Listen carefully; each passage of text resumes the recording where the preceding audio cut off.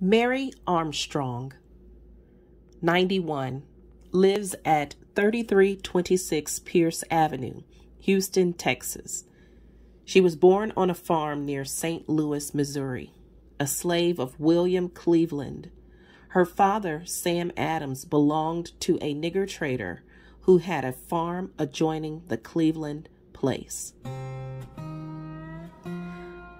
As Aunt Mary, all right? But you all has to excuse me if I don't talk so good. Cause I's been feeling poorly for a spell and I ain't so young no more. Law me when I think back what I used to do and now it's all I can do to hobble around a little. Why, Miss Olivia, my mistress, used to put a glass plumb full of water on my head and then have me waltz round the room. And I dance so smooth like I don't spill nary drop. That was in St. Louis, where I was born. You see, my mama belonged to old William Cleveland and old Polly Cleveland, and they was the meanest two white folks that ever lived, 'cause they was all us beaten on their slaves. I know, 'cause mama told me, and I hears about it other places. And besides, old Polly, she was a Polly devil, if there ever was one. And she whipped my little sister, what was only nine months old, and just a baby, to death. She come and took the diaper off in my little sister and whipped till the blood just ran. Just 'cause she cried, like all babies do. And it killed my sister. I never forgot that. But I saw some even with that old Polly devil, and it's this away. You see, I's about 10 year old and I, I belongs to Miss Olivia. What was that old Polly's daughter? And one day, old Polly Devil comes to where Miss Olivia lives after she marries and tries to give me a lick out in the yard. And I picks up a rock about as big as half your fist and hits her right in the eye and busted the eyeball and tells her that's for whipping my baby sister to death. You could hear her holler for five miles, but Miss Olivia, when I tells her, says, Well, I guess Mama has learned her lesson at last. But that old Polly was mean like her husband, old Cleveland, till she died. And I hope stay as burning in torment now. I don't remember about the start of things so much, except what Miss Olivia and my mama, her name was Sibby, tells me. Course, it's powerful cold in winter times, and the farms was lots different from down here. They calls them plantations down here, but up in St. Louis, they was just called farms. And that's what they was. Cause we raises wheat and barley and rye and oats and corn and fruit. The houses was builded with brick and heavy wood too. Cause it's cold up there. And we has to wear the warm clothes and they's wove on the place. And we works at it in the evenings. Old Cleveland takes a lot of his slaves, what was in custom, and brings them to Texas to sell. You know, he wasn't supposed to do that. Because when you was in custom, that's cause he borrowed money on you. And you's not supposed to leave the place till he paid up. Course, old Cleveland just tells the one he owed the money to, you had run off or squirmed out some way.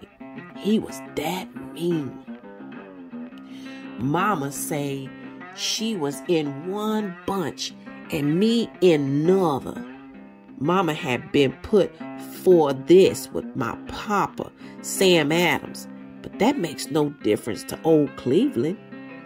He's so mean. He never would sell the man and woman and chillin' to the same one. He sell the man here, the woman there, and if they's chillin', he sell them someplace else.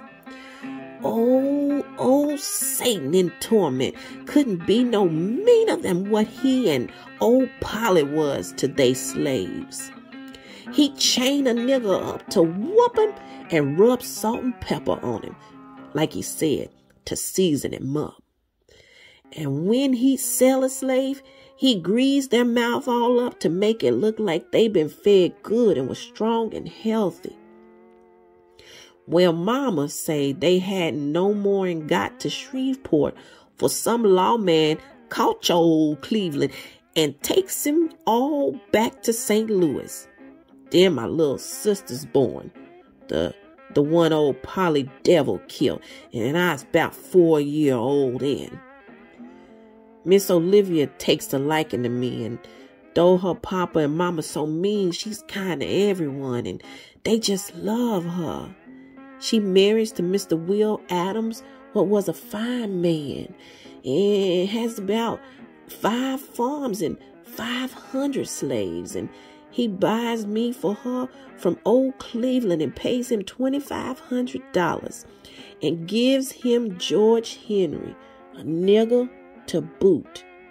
Lawsy, I sure happy to be with Miss Olivia and away from old Cleveland and old Polly, 'cause they killed my little sister.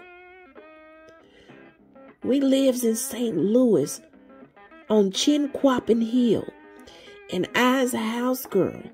And when the babies start to come, I nurses them and spins thread for clothes on the loom. I spin six cuts of thread a week but I has plenty of time for myself, and that's where I learns to dance so good. Law, I show just crazy about dancing. If I sit and eating my victuals and here's a fiddle play, I gets up and dances. Mr. Will and Miss Olivia show is good to me, and I never calls Mr. Will master neither. But when they's company, I calls him Mr. Will. And round the house by ourselves, I calls them Pappy and Mammy, 'cause they raises me up from the little girl. I hears old Cleveland done took my mama to Texas, Gan, but I couldn't do nothing, 'cause Miss Olivia wouldn't have much truck with her folks. Once in a while, old Polly comes over, but Miss Olivia tells her not to touch me or the others. Old Polly tries to buy me back from Miss Olivia, and if they had, they'd killed me sure. But Miss Olivia say, I wade in blood as deep as hell before I let you have Mary. That's just the very word she told him. Then I hears my papa is sold someplace, I don't know where. Course, I didn't know him so well, just what mama told me, so that didn't wear me like mama being took so far away. One day, Mr. Will say, Mary, you want to go to the river and see the boat race? Law me, I never want to forget that. Where we live, it ain't far to the Mississippi River, and pretty soon here they comes, the Natchez and the Eclipse, with smoke and fire just pouring out of the smoke shacks.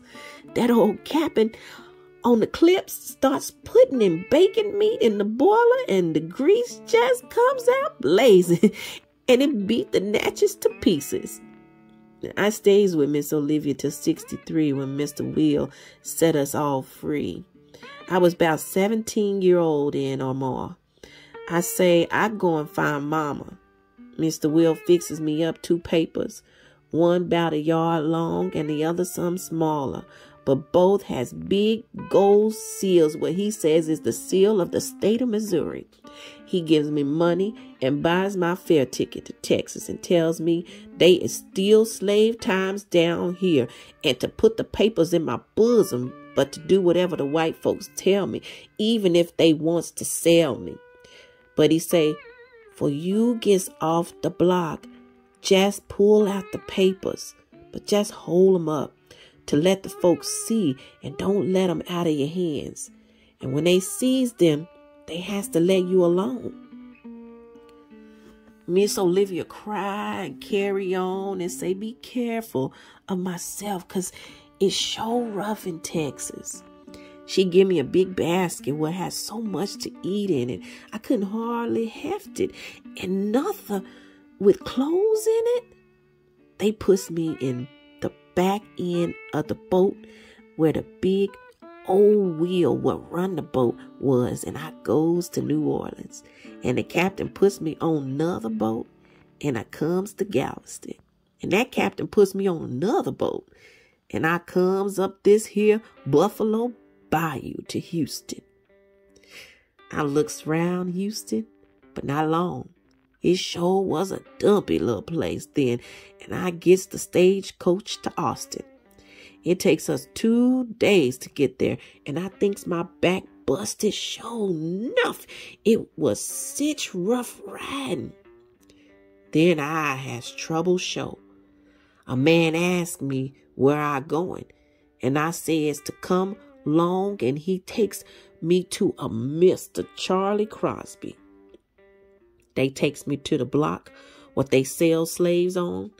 I gets right up like they tells me because I lex what Mr.